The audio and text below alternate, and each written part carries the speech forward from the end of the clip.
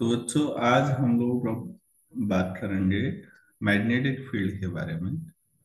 अगर हम लूप में काम करें मतलब magnetic field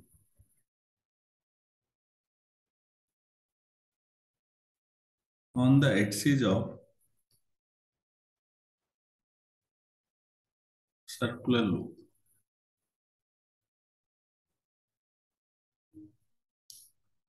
अब ये थ्री डी पिक्चर हो गई, क्योंकि लूप अपने आप में टू डी में दिखता है हमको। और तो हम लोग इस तरह से काम करेंगे कि जैसे ये एक्स एक्सिस है, ये वाई एक्सिस है।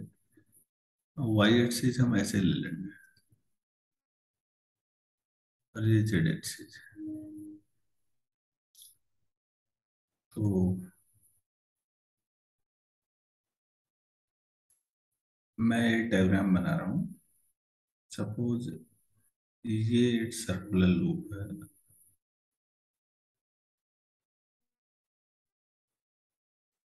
और ये एक्स एक्सिस मान लेते हैं। इस एक्स एक्सिस में कोई पॉइंट है सपोज़ मेरे पास पी ये सेंटर लूप का ओ मान लेते हैं। इसे वर्टिकल एक्सिस मान लेते हैं जेड एक्सिस ये जेड एक्सिस है और वाई हम इस तरह से मान लेते हैं।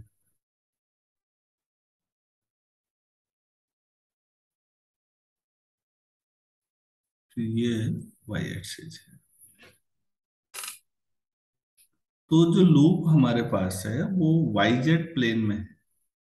वाई एक्सिस और जेड एक्सिस कमरे में सामने आप X axis Y axis Z axis मान सकते हैं दीवारों में। तो वाई जेड प्लेन में और उसके सामने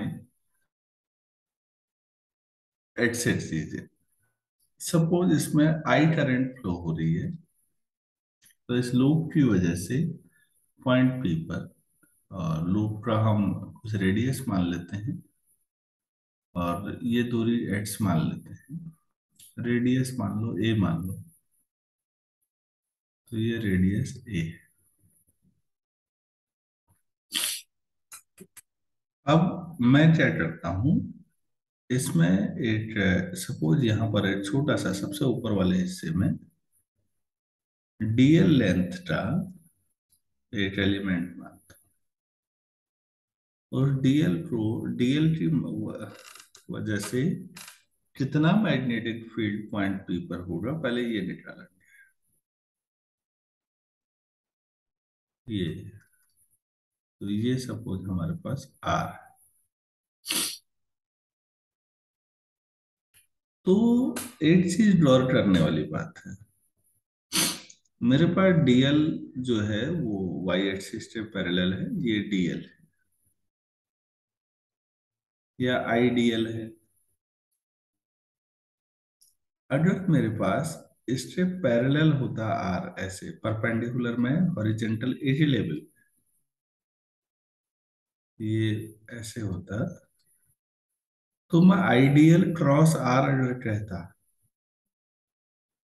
तो वो ऊपर को आता या नहीं? Ideal Yes. क्रॉस आर ये ऊपर को आता। लेकिन अब परेशानी ये है कि आइडियल तो ठीक है। ये है। लेकिन आर इधर को नहीं है हॉरिजेंटल बल्कि हमारे पास नीचे को है ऐसे। तो ये जो हमारे पास रिजल्टेंट आएगा, वो cross product ideal cross R क्या वो वर्टिकल आ पाएगा इस समय? क्योंकि आर जो है, थोड़ा सा नीचे को झुका हुआ है। नहीं इस बार वर्टिकल नहीं आएगा इस बार थोड़ा सा टेढ़ा होके आएगा। हाँ टिल्ट तो मैं ये कहना चाह रहा हूँ कि जो इसकी वजह से मैग्नेटिक फ़ील्ड पॉइंट पी पे हम निकालने वाले हैं पॉइंट पी पर अगर मैं vertical line at Z axis के पैरेलल डालूं तो जो आउटपुट होता है कभी भी हमने क्रॉस प्रोडक्ट देखा है ए क्रॉस बी तो वो ए और बी दोनों के परपेंडिकुलर होता है। तो आइडियल क्रॉस आर जब मैं निकालूँगा तो वो आइडियल के भी परपेंडिकुलर होना चाहिए आर के भी परपेंडिकुलर होना चाहिए। ये जो आर है, अगर यहाँ पर एक्स एक्सिस के साथ थीटा एंगल बनाए तो इनका क्रॉस प्रोडक्ट जेड एक्सिस के अलाउ नहीं हो सकता, क्योंकि जेड एक्सिस और आर आपस में परपेंडिकुलर नहीं है अब। वो तो इतना सा एंगल बचा ना। Five by two minus theta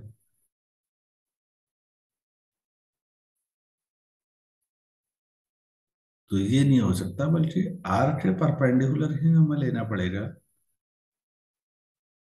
तो ये मैंने ले लिया जो आर के परपेंडिकुलर है। अगर ये आर के परपेंडिकुलर है और ये pi by two minus theta है तो ये थीटा होना चाहिए ताकि दोनों जुड़े तो पाई बाई टू आ जाए। क्या मैं ये समझा पाया? यस सर तो फिर ये डी बी हमारे पास मैग्नेटिक फ़ील्ड की डायरेक्शन हो गई। डी इसलिए कि छोटा सा एलिमेंट डीएल था तो मैग्नेटिक फ़ील्ड भी डी बी हो जाए अगर ये समझ में आया तो डीबी का कंपोनेंट जेड एक्सिस के अलोंग जो आएगा, वो डीबी क्रॉस थीटा होगा। तो फिर एक्स एक्सिस के अलोंग क्या होगा? डीबी साइन साइन थीटा ठीक हो गया। लेकिन सर्कुलर लूप में सिमेट्री बहुत होती है। जितना डीएल हमने लिया ठीक उसके अपोजिट डायमेट्रिकली अपोजिट भी एक दूसरा एलिमेंट डीएल हम ले सकते हैं। और सारी प्रोसेस यहाँ से भी वही अगर करें। मतलब यहाँ से पॉइंट पी को मिलाए। और इसकी वजह से मैग्नेटिक फ़ील्ड निकाले तो बिल्कुल उसी तरीके से आएगा। और ये एंगल थीटा यहाँ भी होगा। तो इससे डीबी क्रॉस थीटा नीचे को आ जाएगा और डीबी साइन थीटा हॉरिजेंटल तो हम ये गौर कर रहे हैं कि हमें तो टोटल मैग्नेटिक फ़ील्ड निकालना है पॉइंट पी पे अगर हम ऐसे जोड़ते जाएँगे पेयर वाइज जोड़े, माना तो क्रॉस कंपोनेंट इक्वल और अपोजिट हो जाएँगे तो वो कैंसिल आउट हो जाएँगे। और साइन कंपोनेंट जो है, वो दोनों सेम डायरेक्शन में है तो वो जुड़ते जाएँगे। अब आप हर बार कहीं पर भी डीएल एलिमेंट लें और डायमेट्रिकली अपोजिट लें तो हर बार क्रॉस कंपोनेंट कैंसिल होंगे साइन कंपोनेंट ऐड होते जाएँगे। तो हमें अगर पॉइंट पी पर नेट मैग्नेटिक फ़ील्ड निकालना है तो डीबी साइन थीटा को जोड़ के आ जाएगा सबको। सबको जोड़ने का मतलब इंटीग्रेट करना। बाकी तो कैलकुलेशन है छोटा सा। क्या ये डायग्राम अच्छी तरह समझ में आ गया है? यस सर चलो ठीक है हम इसको थोड़ा सा डिस्क्राइब कर लेते हैं लिख भी लेते हैं।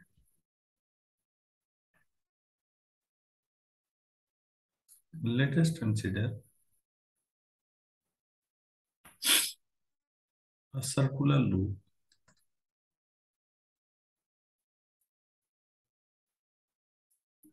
Of radius a. Comma carrying a current. I and lying in yz plane.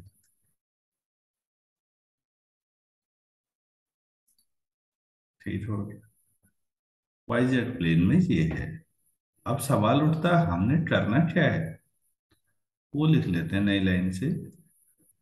We have to calculate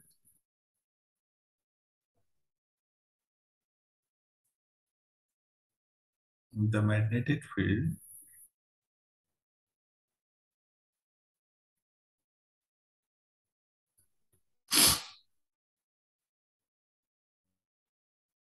at point P और पॉइंट P कहां पर है on the axis of loop Loop की एक्सिस पर एट पॉइंट पी है, वहाँ पर magnetic field निकालना है। और ये जो पॉइंट पी है, वो सेंटर से जो ओपी दूरी है, वो एट्स मान लेते हैं। ठीक है। इसमें जो समझना था कि जो डीबी है, वो वर्टिकली ऊपर या नीचे ना थोड़ा टिल्टेड होगा, तिरछा होगा। उसके लिए जो मैंने शुरू में समझाया डायग्राम ये यूजफुल रहे होंगे। लेफ़्ट में जो ऊपर है। कि डीबी थोड़ा सा टिल्टेड होंगे। क्लियर है ना? यस सर चलिए ठीक है फिर हम आगे बढ़ते हैं। Us state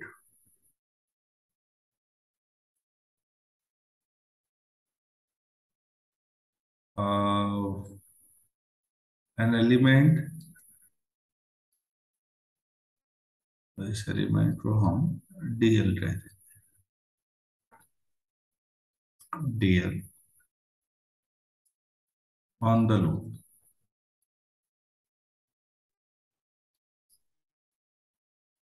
the loop such that uh, चलो such that and full stop हो गया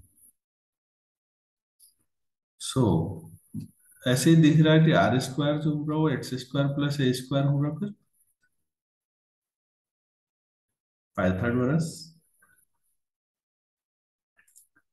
अब डीएल की वजह से मैग्नेटिक फ़ील्ड निकालते हैं तो कौन सा फॉर्मूला लगेगा? Now using Biot Savart law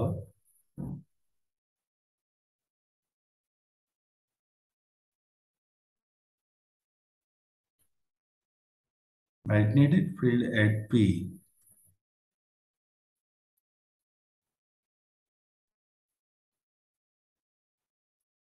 comma due to considered part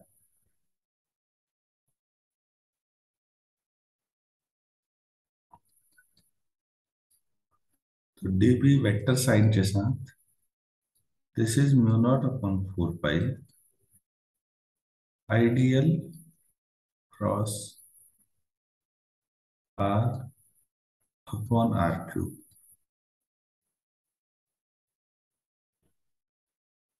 ये ठीक है।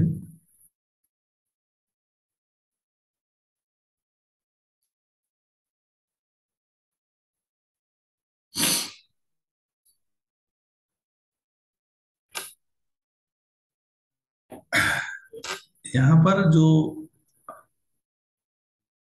आइडियल है ये ये वाले लेफ़्ट वाले भी बना लेने हैं डायग्राम ये भी 90 होगा ये मैं लेफ़्ट में बना रहा हूँ जहाँ पर। और जहाँ पर हम ये करेंगे डीबी कुछ ऐसा होगा। अभी थ्री डी पिक्चर है तो ये टू डी से बहुत अच्छा नहीं समझ में आप आप टिल्टेड है तो थोड़ा सा ऐसे घूम जाएगा। यहाँ तो ऐसा लगता है जैसे आइडियल के अपोजिट जा रहा हो, लेकिन है नहीं सच्चाई। क्योंकि जो डीबी होगा वो अलर्ट प्लेन में है। तो आइडियल और आर के बीच का एंगल 90 है ये क्लियर है? Three D picture three D picture में सोचो सामने लेफ़्ट दीवार में लूप है और आर आपके सामने इधर को आ रहा है टेबल की ओर तो आपको खुद लगेगा हाँ एंगल 90 होगा।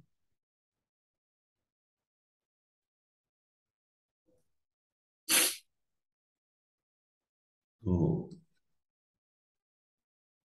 हम यहाँ पर लिख लेते हैं since I DL and R R mutually perpendicular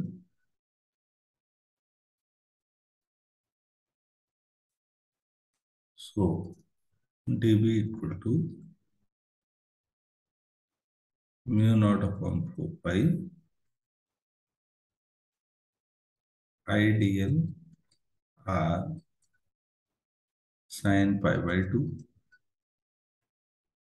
upon R two ये मैग्नीट्यूड है केवल इस बार। वेक्टर साइन नहीं लगाया मैंने। तो डीबी हमारे पास आ गया mu naught upon four pi I D L upon R square second equation अब हम इस डीबी के कंपोनेंट ब्रेक करते हैं। Now we resolve dB into components. किस तरह के कंपोनेंट्स हैं? एस सोन जैसे कि हमने दिखा रखे हैं, बस हो गया इतना काफ़ी अब हम क्या करें? अब हम ऐसा ही एक डीएल डायमेट्रिकली अपोजिट लेते हैं। लेट लेटेस्ट एक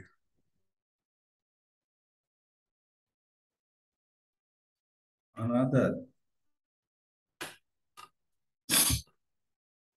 element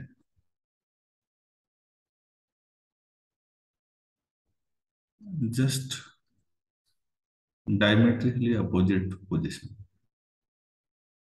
just add diametrically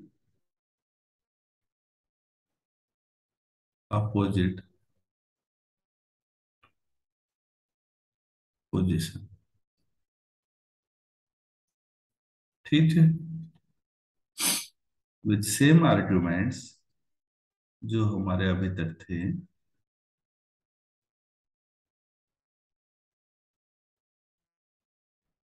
with same arguments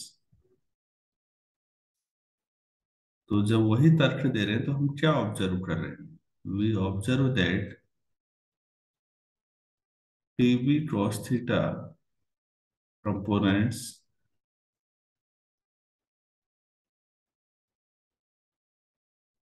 are cancelled out.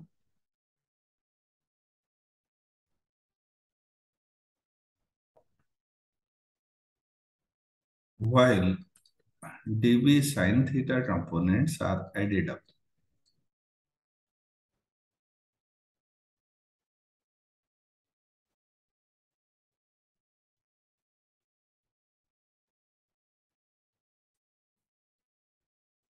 क्या मैं समझा पाया ये हाँ sir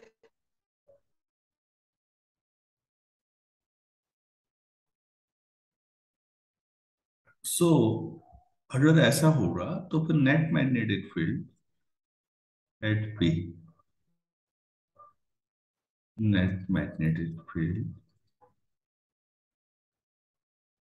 at P is B equal to integration of D B sine theta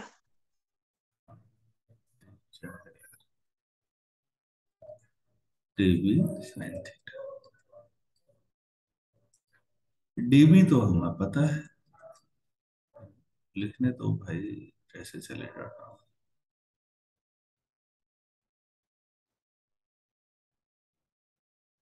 dB तो हमें पता है। Mu naught upon four pi. I D L upon R square. और जो हमने राइट एंगल ट्राइंगल बनाया है, ये इसमें ये थीटा है ये आर है ये ए है और ये एक्स है। तो साइन थीटा की जगह क्या लिख सकते हैं? ए अपॉन आर।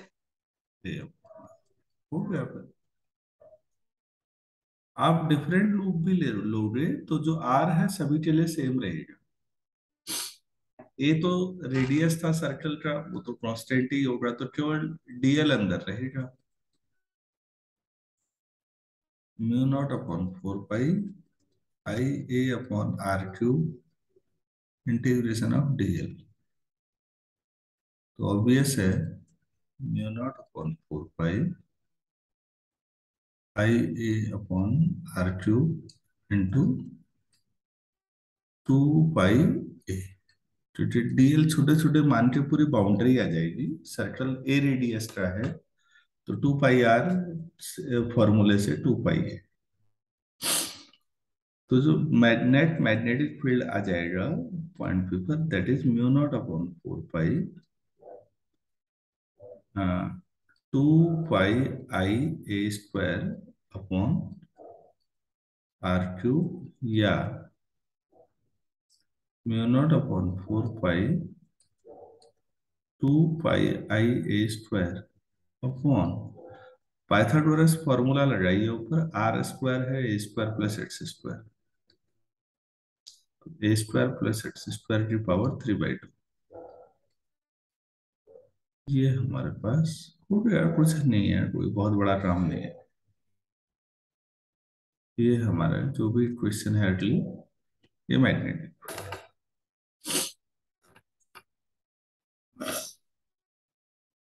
इसको हम और फॉर्मूलों में भी दिखा सकते हैं। पहले तो ये सोचिए कि सर्कुलर लूप ज़रूरी तो नहीं है, एक ही बार हो। हो सकता है तार को कई बार लपेटा गया हो। अगर तार को एन बार लपेटा गया होगा if there are N number of terms of wire तो तो एट लूप की वजह से इतना है। Then net magnetic field at P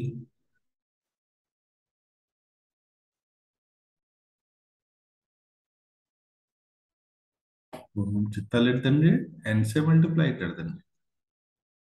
तो mu naught upon four pi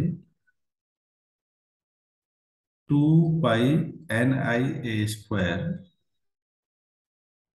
upon A square plus X square की पावर थ्री बाई टू ये आ जाएगा फिर। अगर एन टर्न है तो ये हो गया। कौन सी इक्वेशन हो गई है?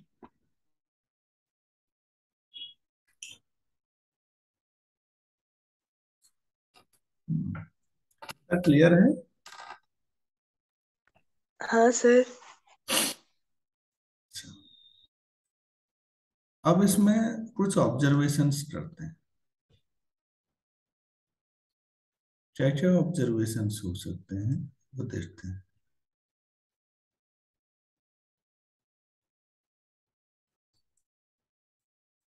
पहला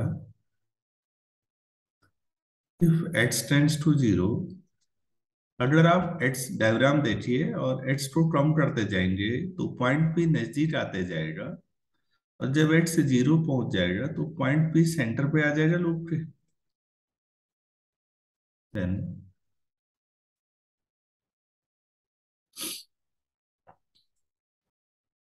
magnetic field at the center of the loop at the center of the loop तो एच टी जो ज़ीरो लिख ले तो भाई तो mu naught upon four pi two pi N I A square H से ज़ीरो रखें तो ए स्क्वायर की पावर थ्री बाई टू तो ए क्यूब आ जाएगा। तो यहाँ से B equal to mu naught upon two N I upon two A ऐसा बचेगा मेरे ख्याल से। पहले भी ऐसा ही आया था। हमने पिछला डेरिवेशन जो किया है, वो डायरेक्टली सेंटर पे ही निकाला है।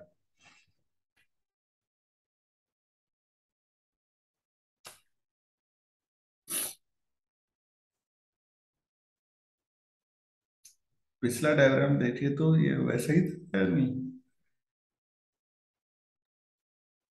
हाँ उसमें बस हमने लूप करके नहीं किया, वरना ये वैसा ही है। जैसा सेंटर हाँ उसमें भी एन कर सकते थे। तो ये वो पिछला पर्टिकुलर केस था ये जनरल केस है और यहाँ जनरल केस का पर्टिकुलर केस पिछला वाला डेरिवेशन हाँ। दूसरा ऑब्जर्वेशन। तो फिर हमने पहले उसे क्यों किया?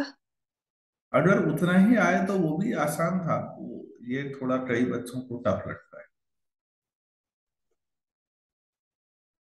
लेकिन इसमें ज़्यादा ऑब्जर्वेशन है। दूसरा ऑब्जर्वेशन ये है if x tends to infinity अगर आप एक्सिस पे बहुत दूर चले जाएँगे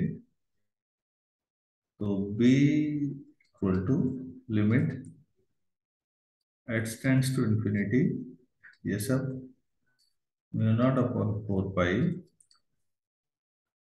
two pi N I A square A square plus X square three power three by two तो ये टेंस टू क्या हो जाएगा? ज़ीरो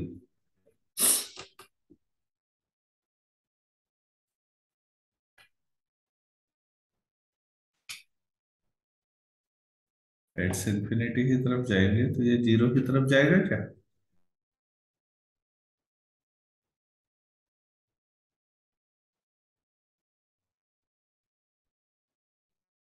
बहुत दूर ले जाने पे ऐसा। हाँ लेकिन अगर मैं इतना दूर ना जाऊँ लेकिन हाँ रेडियस के मुकाबले फिर भी बहुत दूर हो जाएगा। तो जहाँ पर X square plus A square है वहाँ मतलब ए स्क्वायर ही रख सॉरी क्या रखूँ? एक्स स्क्वायर ही रखेंगे।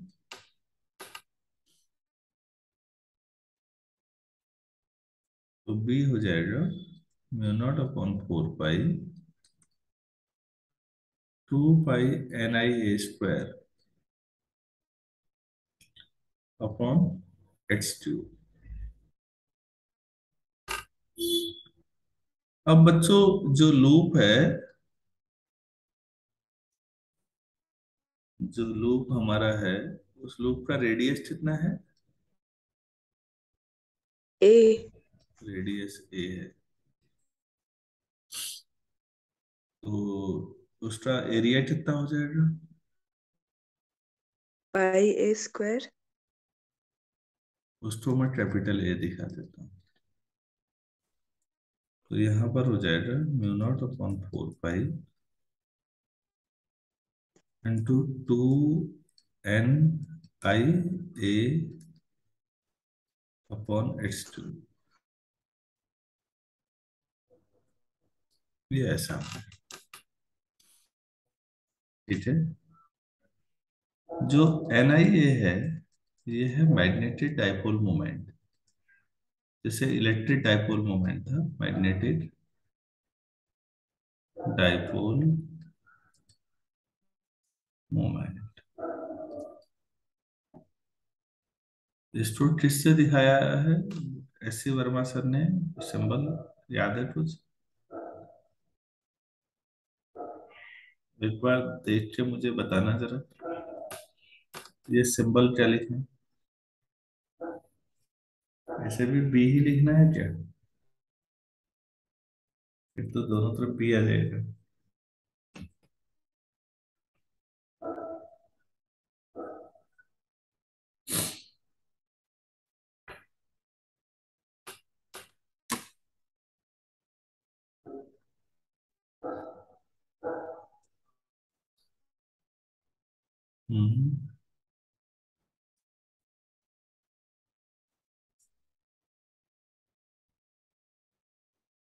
ये मैग्नेटिक डाइपोल मोमेंट को स्मॉल एम से डिनोट करते हैं। चलिए, ठीक हो गया इसको स्मॉल एम से। तो हम वही दिखाते हैं स्मॉल एम से दिखा देते हैं। ये तो बढ़िया हो गया। Mu naught upon four pi two M upon X cube तो बी इतना आ गया यहाँ पर ध्यान देने वाली बात यह है कि जो लूप है, उसमें करंट इस तरह से फ्लो हो रही है। अगर ये करंट आई है तो जहाँ पर करंट है बच्चों, उसके ऊपर अपना दाहिना हाथ का अंगूठा रखो और हाथ से तो आपको लगेगा कि ये जो अंदर है, इसमें मैग्नेटिक फ़ील्ड ऐसा आएगा, बाहर को आएगा ना? हाँ। तो ये नॉर्थ पोल की तरह काम करेगा।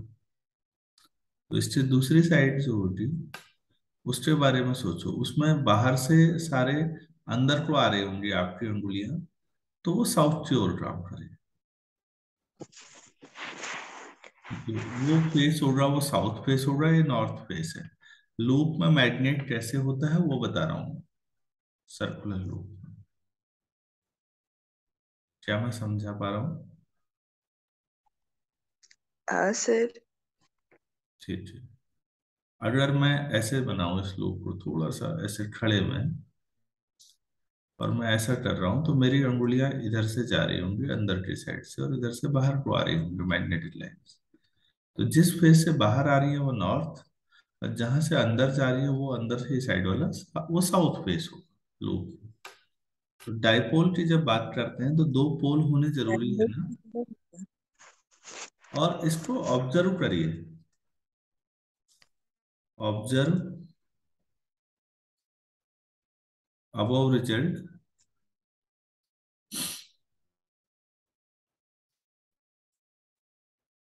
and think about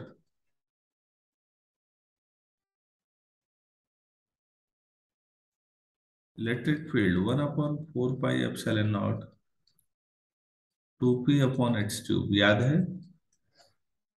यार dipole minus two plus two यहाँ से एच दूरी पर एच सी पोजिशन पर पॉइंट पी है तो ये एच दूरी होती थी। तो यहाँ पर डाइपोल मोमेंट जो निकलता था इलेक्ट्रिक डाइपोल ये वैसा रिज़ल्ट दे रहा है, उसके सिमिलर दे रहा है क्या मैं ये पूरा डेरिवेशन समझा पाया अच्छे तरीके से? यस सर एक बार रिकॉल कर लेते हैं चीज़ों को। ये हमारा मैग्नेटिक फ़ील्ड की बात हो रही है। तो वाईजेड प्लेन में लूप लिया है और एक्स एक्सिस में एक पॉइंट है पी वहाँ पर मैग्नेटिक फ़ील्ड निकालना है। क्रॉस प्रोडक्ट अच्छे तरह से समझ में आना चाहिए बाकी कुछ नहीं है। तो जो बाकी हमने कंपोनेंट तोड़ रखे हैं जो टेंसिल आउट हो गए ठीक है, जो जुड़ गए वो जोड़ लिया और हमारा एक्सप्रेशन आ गया। और फिर छोटे छोटे दो तीन ऑब्जर्वेशन है।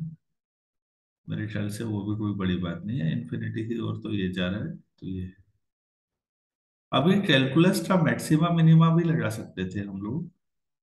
और इसका फ़र्स्ट डेरिवेटिव जो एक्सप्रेशन आया है, उसे ज़ीरो करें, ये क्वेश्चन ये वाली जो हमारी है। तो यहाँ से एक और रिज़ल्ट मिलता है लेकिन मैं अभी उन चीज़ों पे नहीं जा रहा उतना डीप और कभी बाद में पढ़ाएँगे आप लोगों के लिए इतना काफ़ी है। तो ये आर्टिकल कंप्लीट हुआ। मैं इसको रिकॉर्डिंग को सेव करता हूँ और सवा पाँच बजे हम लोग दोबारा जुड़ेंगे, पाँच पंद्रह थैंक यू